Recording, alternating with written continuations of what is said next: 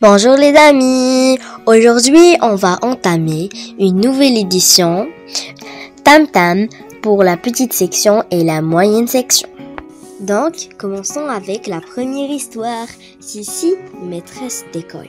Le matin, en classe, tout le monde est artiste.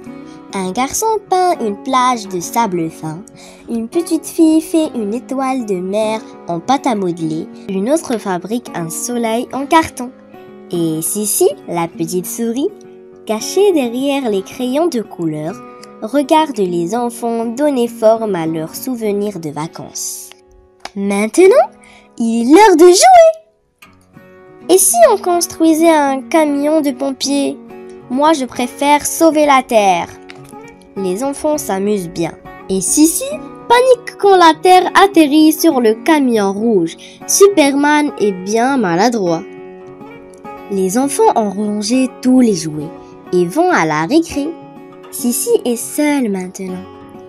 Elle les regarde jouer à la marelle et sourit tristement. La pauvre. Je crois qu'elle voudrait jouer avec eux ou être maîtresse d'école? Ah, si elle avait des camarades avec qui s'amuser.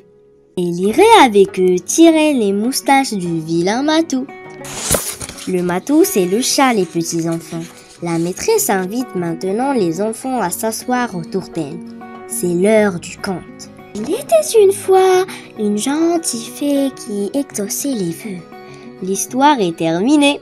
Les enfants se mettent à chanter et à danser. Mais Sissi a la tête ailleurs.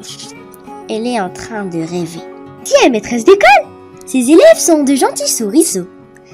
Les souriceaux, les amis, ce sont de petites souris.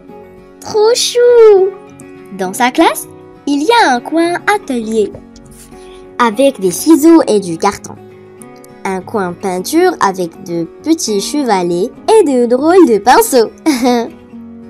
un coin jeu avec un grand coffre pour ranger tous les jouets et un coin livre avec un tapis pour écouter des histoires qui font rêver.